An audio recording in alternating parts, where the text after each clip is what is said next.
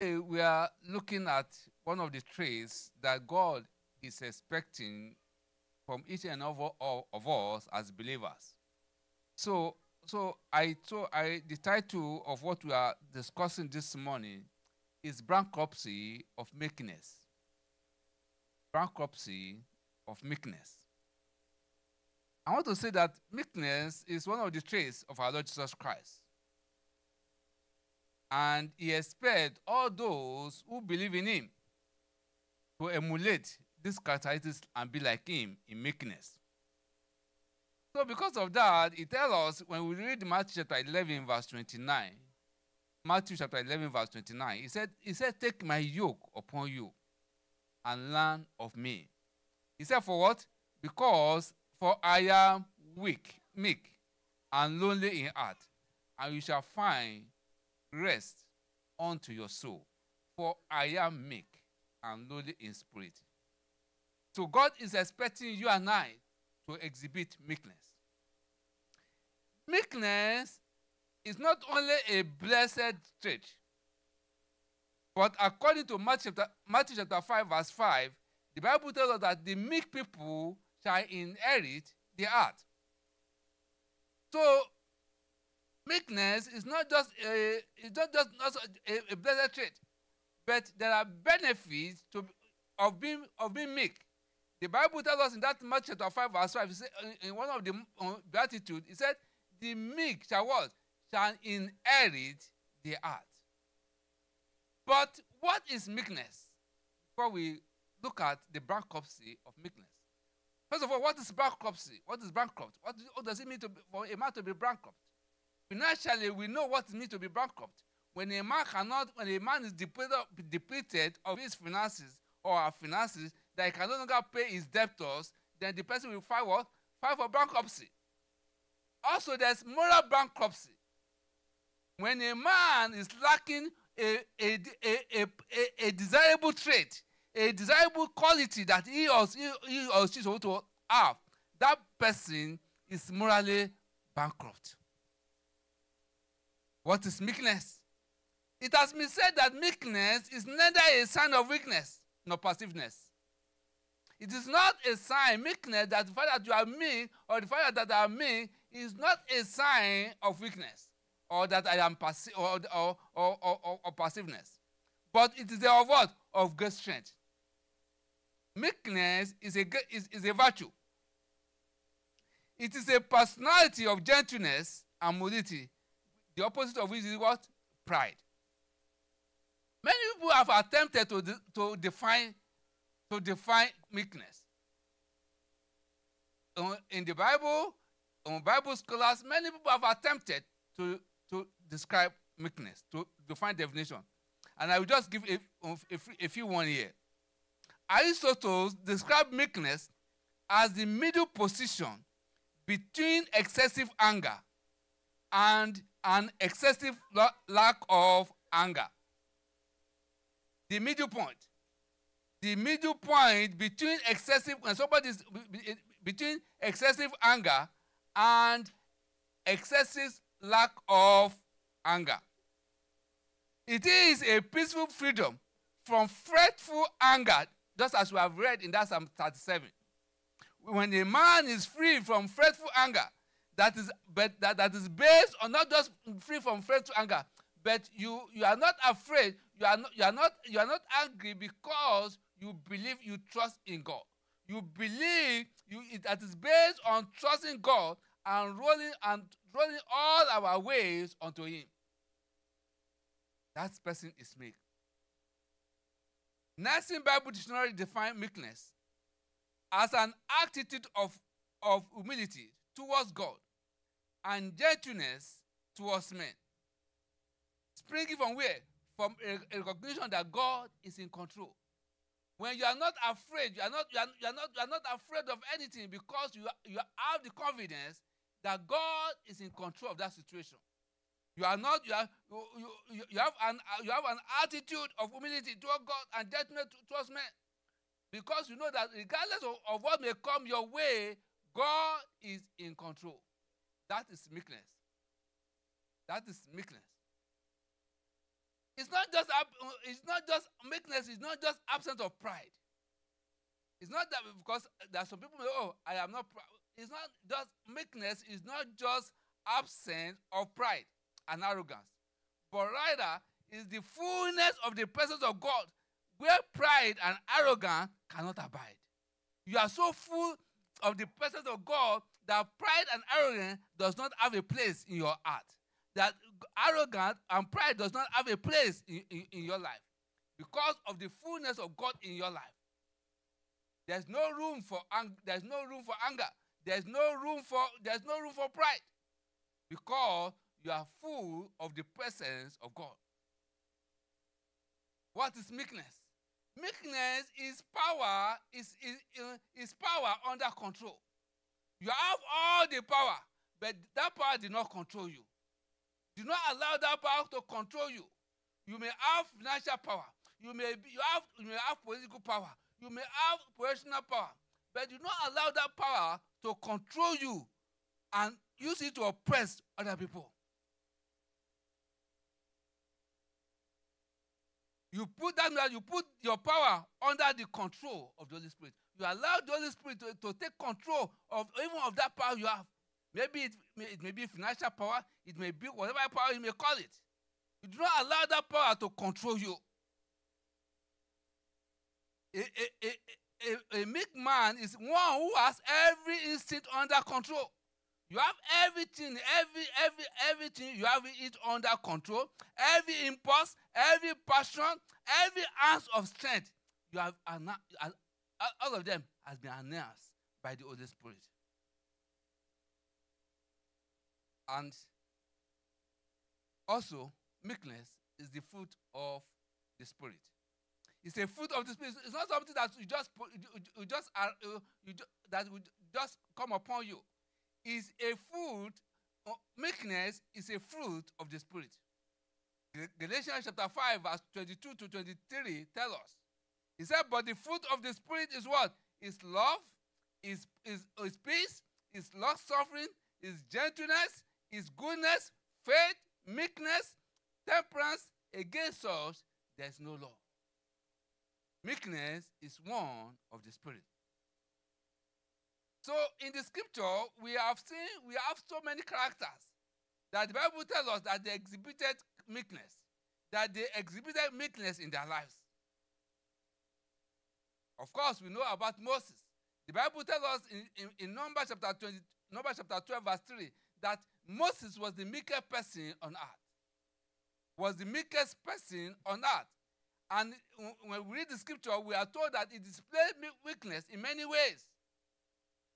He displayed is number one, he displayed willingness, uh, meekness by for his willingness to take off his sandals, to take off his sandals and bow before God in reference in, in that burning bush.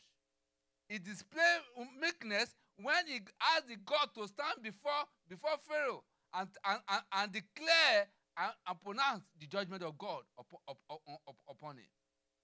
That is meekness. Also, we are told that he displayed meekness not, when he was not only openly uh, uh, criticized for his choice of wife. We all know the story, so I'm not going to labor us with that.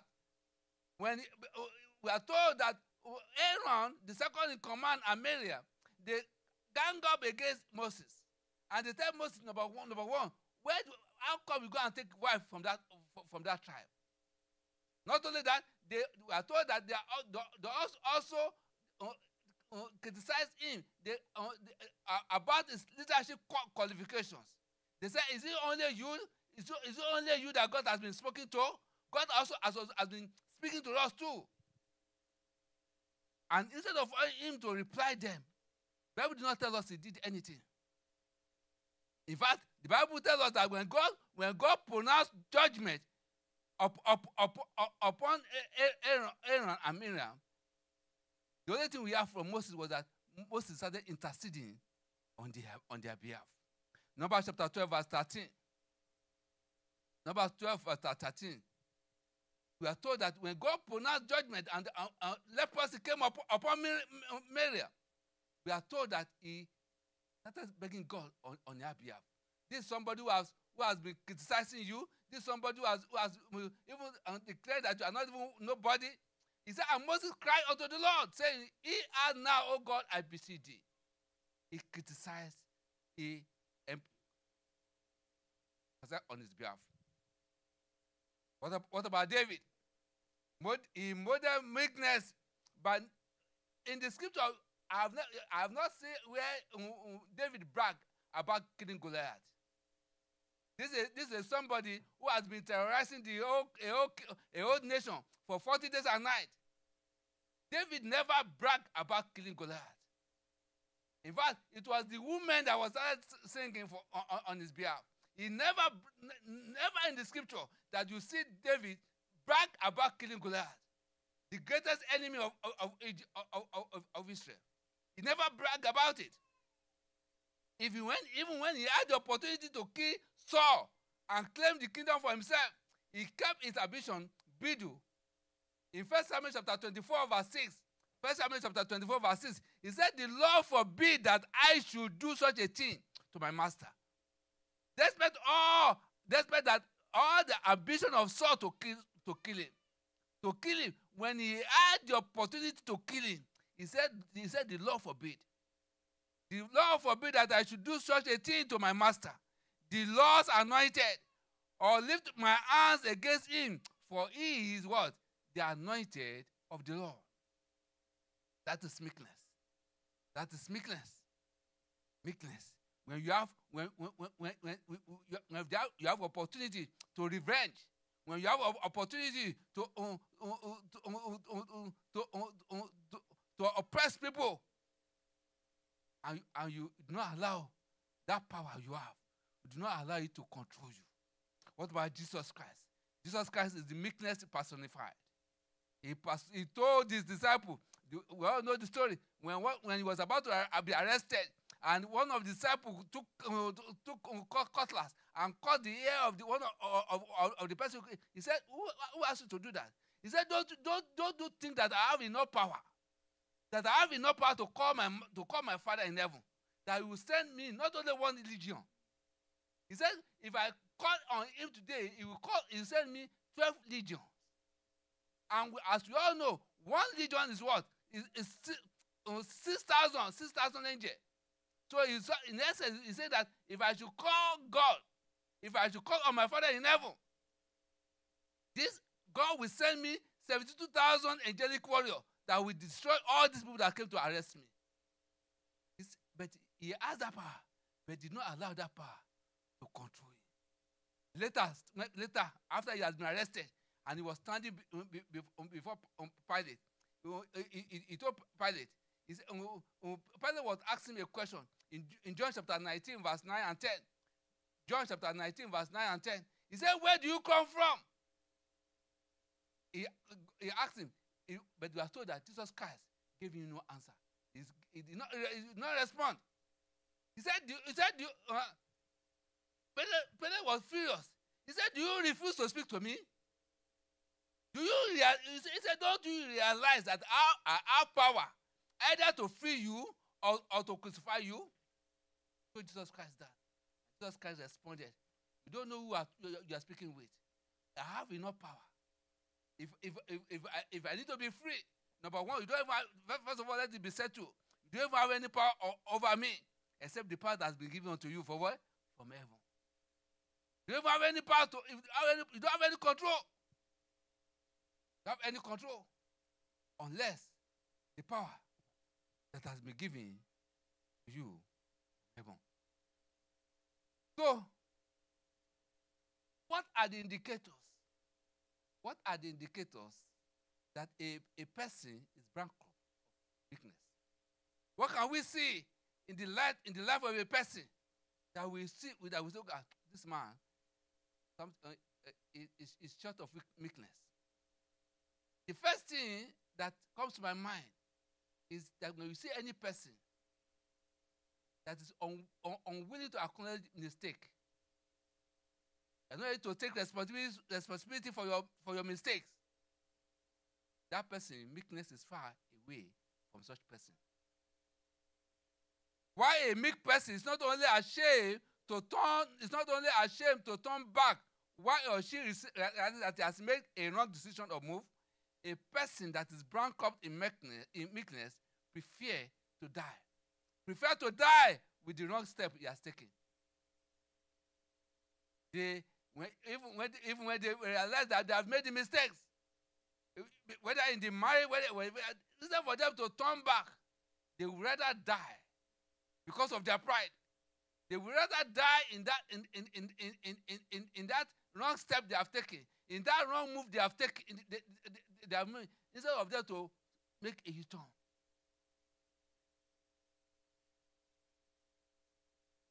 Psalm 29, verse, Psalm 25, verse 9. Psalm 25, verse 9. He said, The meek will be guided in judgment. And the meek, he will teach his ways.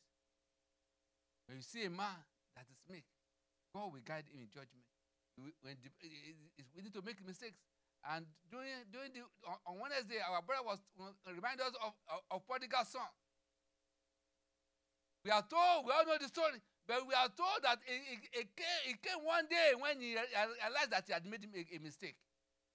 When he, he, realized that he had made a mistake of his life, he said, he said, he said, he said, ah, he said, I will arise.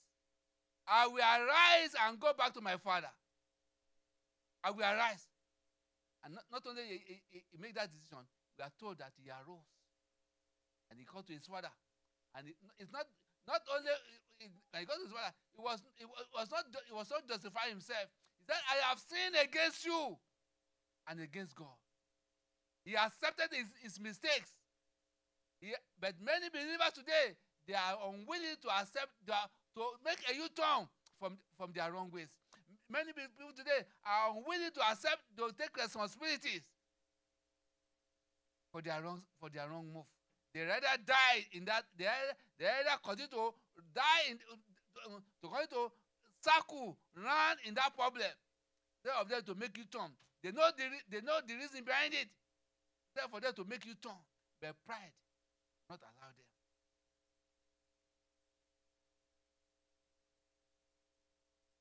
What, what are the indicators of a person that is bankrupt of meekness? A life of envy, a life of envy. When you see somebody that's so envious, envious about your colleagues, envious about, about your senior, envious, envious. The Bible tells us in that in in in in, in, in, in that um, Psalm 37, Psalm 37, brother Disha, Psalm 37 verse 1. He said, "Don't be afraid about what." He said, "Fret not thyself because of evil evil doers, neither be envious against the workers of iniquity." Go ahead, my professor. For they shall soon be cut down like the grass and wither as they get out. He said, Trust in the Lord and do good. So shall you dwell in the land. And verily I say unto you, that shall be fed. That shall be fed. He said, Delight also that yourself in the Lord, and ye shall give the, the desires of God of your heart. Verse 5. He said, Commit your ways. Commit your ways into the Lord and trust in him, and he shall bring it to pass. Verse 6. He shall bring forth thy righteousness as the light, as the what? as the light, uh, as the light, and thy judgment as the moon day. He said, Rest in the Lord, wait patiently for him. Fret not thyself because of him who prosper in his own way. Many believers today, we see people that prosper in the world and we begin to envy them. We don't even know the source of their wealth. We don't know where they get the money from. During the week, I, I was uh, on Tuesday, I was reading Guardians, and I saw a Nigerian arrested at, on JFK on, on Tuesday. It, that, they have been waiting for him for, for the past two years. What he did, he, he, he siphoned about $10, $10 million for uh, insurance fraud. But people have been, I, I'm so sure people will have, uh, have been envying him. $300 million. Why $300 million back home? and has been doing for the past 10 years. People might have been having him. We don't, only, only God knows maybe he's even living in Banana Republic because everybody wants to live in Banana Republics. Our Banana Island, sorry. Praise the Lord. Envy. envy people that prosper in their own way as a believer. When you see people who envy, you envy about somebody's S car. Oh, somebody, are you, are you, is this only him? You don't know where you get the money from. Envy of evildoers. Bible tells us, he said, don't be mad. He said, rest in the Lord and wish it.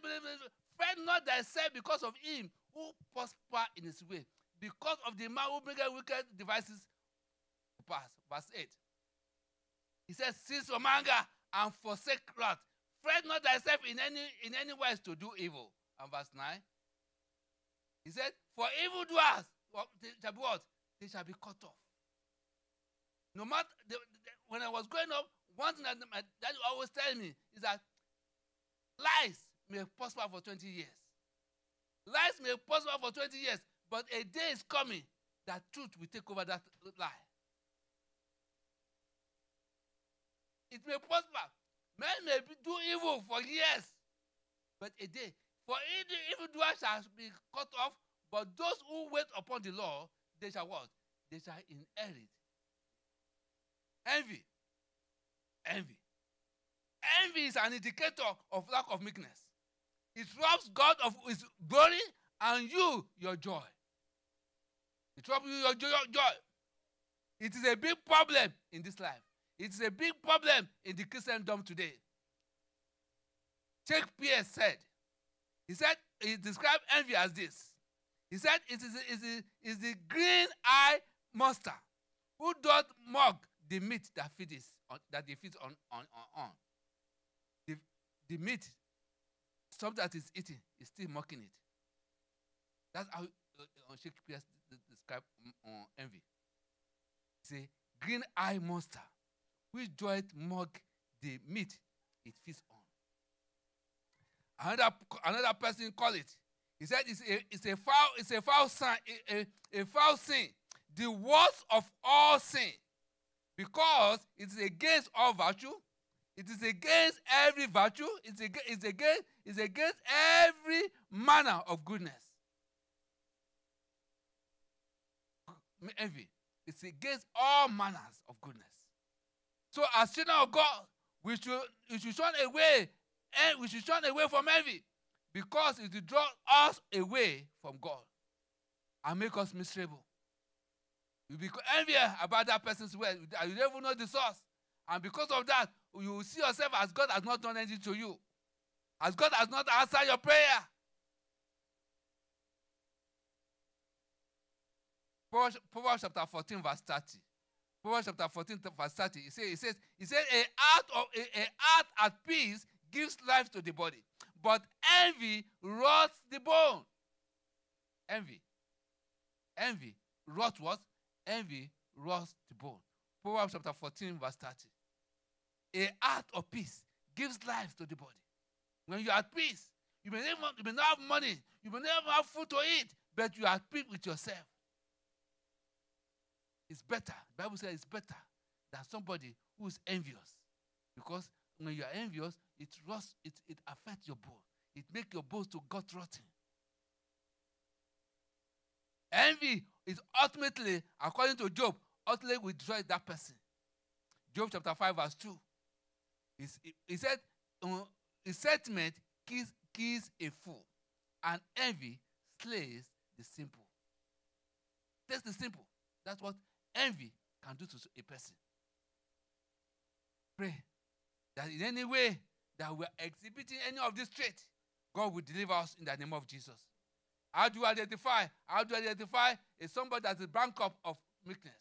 When you're unwilling, when you see a person that's unwilling to submit to, to God's word, meekness is far away from that person. Unwilling, un, not submission to God's word. The Bible is the, this Bible this is the, is the, is the, is the, is the bit and bridle that control the, the our, our, our spirit man. The Bible tells that the heart of any man is what? Desperately wicked. But when you allow this world to control you, when you when you submit yourself to this to, to this God to this world, it will transform you. James chapter 1, verse 21 tells it, it challenges us to receive God's revelation with openness so that it can change us. My prayer is that we, we will submit to God's word in the name of Jesus. He said, Therefore, lay aside, therefore, lay aside all filthiness and overflow of wickedness, and receive with what? With meekness the unplanted word which is able to save your soul. Which is able to save your soul. A man that is unwilling to submit to God's word, that person is bankrupt of meekness. And also, how do you identify somebody that is bankrupt of meekness? When you see a person that is judgmental. Judgmental, you always judge people. When you don't even know what they are going through, you don't even know, you don't even know the reason behind what they, of their action. But you are you, you are judge, you always judge, you pass judgment. Why a meek person will not judge or condemn others for their belief or their opinion, even when they, when they do not agree, that is not true of a person that is bankrupt of meekness. The story was told of a man. We, we all know Chuck uh, Swindoll. He's one of those um, uh, speakers that normally go to a conference to speak to people. So he, he said, he, said, he, he, said he, has one uh, speaking, uh, speaking engagement in, in California. He said as he, as he got there, it was supposed to be a one week from Sunday to Sunday program. He said as he got there on that Sunday morning, then a man approached him. He said, Oh, Dr. Swindoll, thank God you are here. I have been waiting all, all week for this time. And now, since you are here, I'm going to eat every word that you, are, you will speak here. I'm going to eat it. I will eat it completely. And man said, okay, thank you. However, when the conference started, the man noticed that this guy that just told him that he will be eating all his words on the first day, he was he dozed off was sleeping. On the second day, he dozed off. Throughout the whole week, dozed off.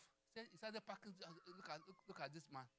That said, I'm going to eat every, every of your every, every word that I speak. And he, cannot even, he did not even listen to any of, to any of them. He was just sleeping.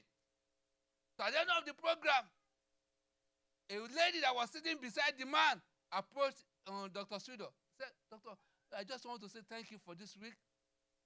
And I want to say that I've been really blessed. However, I want to apologize to you that my husband that was sitting beside me was sleeping all, all, all time.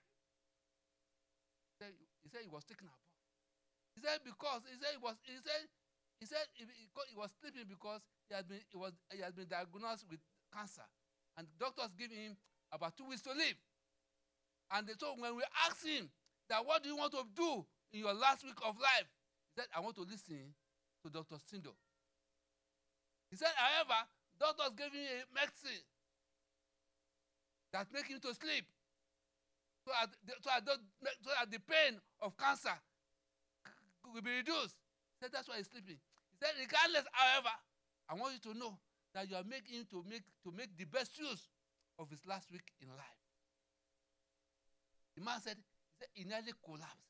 He, said, if there's any share under, under, under where he can, he can just hide himself because he has passed judgment, the way of judgment over him over the, during the week. So don't be judgmental about people. You may not like their way of life. You may not like what they do, but can't you instead of, instead of passing judgment on them, can't you ask God to give the, the grace God has given to you? Why can't God to extend the same grace to them? We are all product of, of grace. We are all product of grace. So don't be judgmental. There, there may be circumstance and factor at work in another person's life that you don't understand or know. That you don't know. That I mean I, do, I don't know. That but we are quick. Bible tells us that Bible tells us that we should be what? We should, we should not be quick to what? To speak or to judge. How do identify as I close this morning? How do identify somebody that is that is that uh, that is uh, that is bankrupt of meekness. When you see a person that is all tempered, all temper, all temper is an extreme anger. In that scripture, we are told in that verse one, he said, "Run away." He said, "Fret not for what anger. Run away from anger." All temper is an is a deep-rooted spiritual anger that controls the individual affected. It is a natural, it is it's natural feeling of pain and displeasure arising from the heart against a person or a bad action. And it is a leather person, it's a, it's a leather weapon in the hand of enemy against every believer. That you can eh, that enemy is using even to derail many people from the kingdom. So I don't know which one of these traits you exhibit. The time for us, as we end this month, we go into, into the month of September. It's a, it's a time for us to examine our life, to examine. Is there any of these traits that I'm exhibiting? Is it, is it, uh, is it, am I hot tempered? Is it, I, I, I, have, I, have a, I have difficulty in submission, in, in submitting to the, what, the word of God? Is it, is it because I, is it, or am I always, always, always making excuses? Always uh, not ready to accept, accept my mistakes? What is it that you exhibit?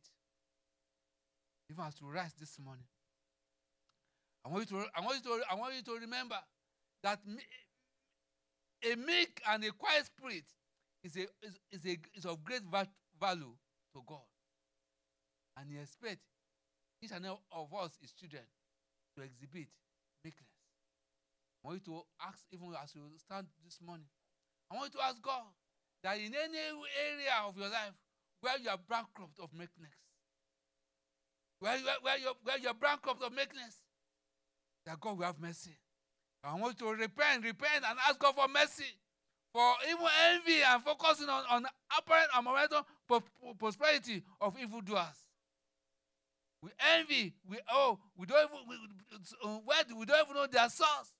And we look at ourselves as if God has not done anything to us, as if God has not answered our prayer. I want to ask God for mercy this morning. Lord, we repent, oh God, we repent, oh God, we ask for your mercy.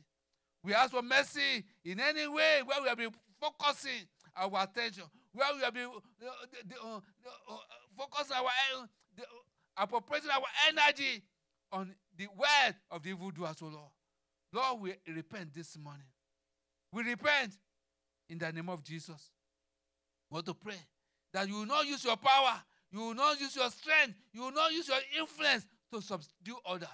You will not use your power to oppress others, but rather God will be your fortress. God will be your defender. You will not, you will not, you will not try to defend yourself, even when you, when you are being wrong, oh God. Lord, we ask, oh God, this morning, in the name of Jesus. And lastly, I want to pray Father, as I go this week, guide my steps. Guide my step against every wrong and against wrong move or decision in the mighty name of Jesus. Lord, we ask, oh God, this morning. Lord, as we journey this week, oh Lord, please guide our guide our step, oh God.